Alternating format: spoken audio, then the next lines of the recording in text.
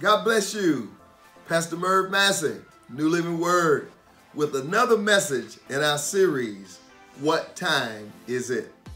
What time is it? It's time to dream dreams and have visions. Yes, that's right. The Bible says in Acts 2 and 17, It shall come to pass in the last days, saith God, I will pour out my spirit on all flesh.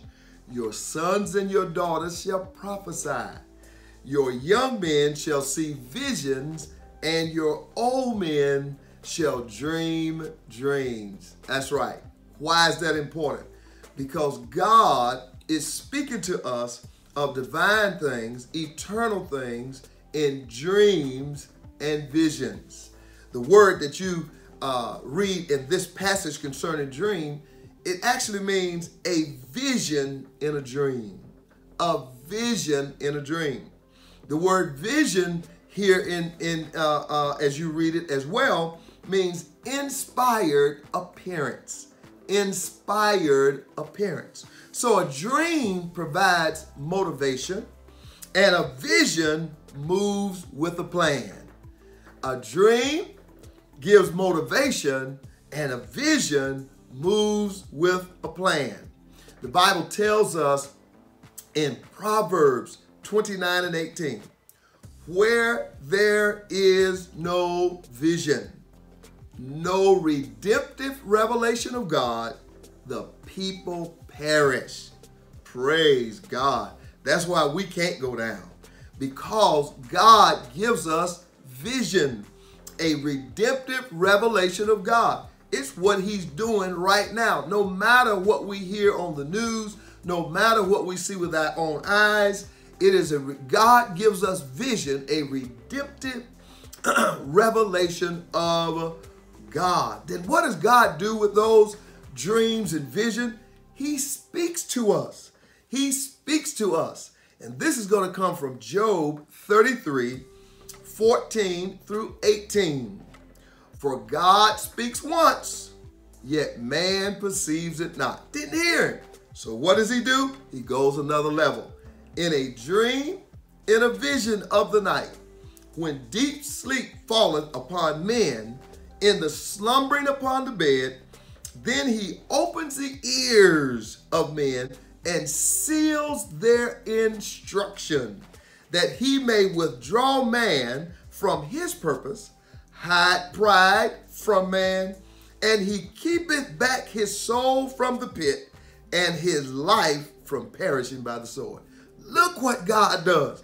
When we don't even recognize him speaking to us, what does he do? He speaks to us in the night, in a dream, a vision in the night. He speaks to us. So what does he expects us to do? And I'm going to tell you this, make sure you have a pen and pad or something uh, by your bed each night because you don't know what God is going to tell you, when he's going to wake you up and tell you. So what God expects us to do is to write, read, and run with the vision. Write, read, and run with the vision. You guys are very familiar with Habakkuk 2, uh, verses 1 through verse number 3 even. Bible says, I will stand on my watch and, and set me upon my tower uh, to watch what he will say unto me and what I will answer when I'm improved. So there should be an expectation now that God's going to speak to me in vision and dreams. And look what he look what the Lord says to him in verse 2. The Lord answered and said unto me, Write the vision, make it plain, and uh, that he that uh, uh, readeth it might run with it. Amen.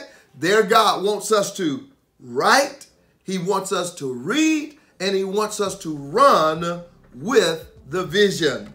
Praise the Lord. Glory to God. He goes further in verse 3 and says, Though the vision is for an appointed time, though it tarry, wait for it. In the end, it's going to speak. Folks, if God said it, he's going to do it. If he speaks it, he brings it to pass.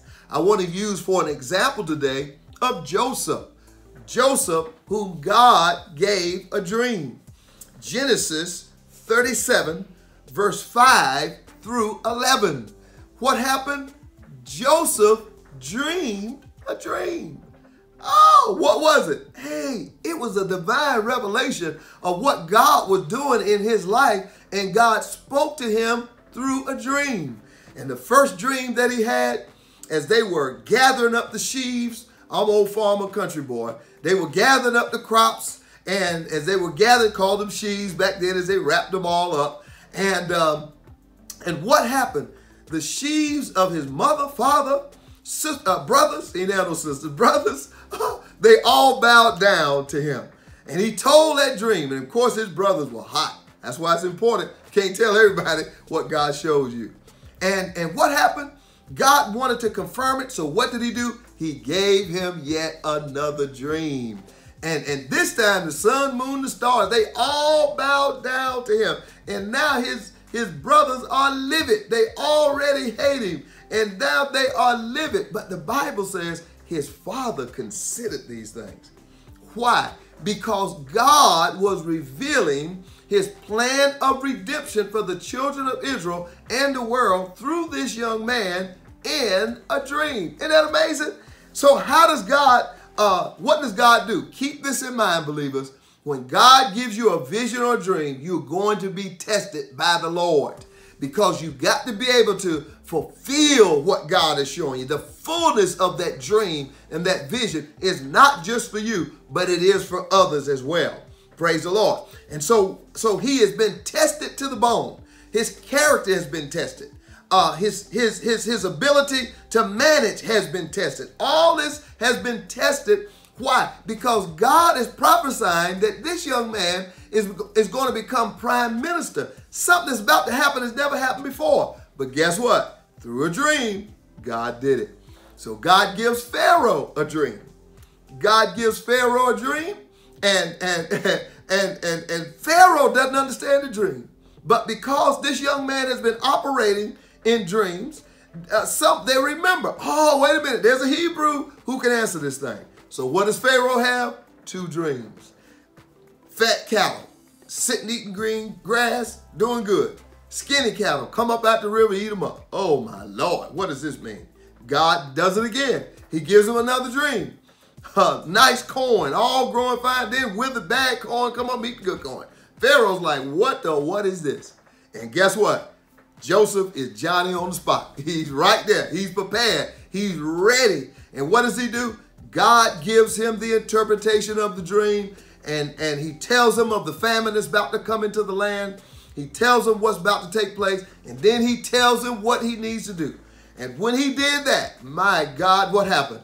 He's now promoted to second only to Pharaoh in the land of Egypt. Do you see what God is doing in the most impossible times? Right now, God is saying, it's time now for you to have dreams and visions because I'm speaking to you and you don't know what I will do, but I'll tell you and reveal it to you through visions and dreams. Hey, look like he made it. I made it. I'm at the top. I got it. Hey, hey. No, sir, Joseph. You got to fulfill it.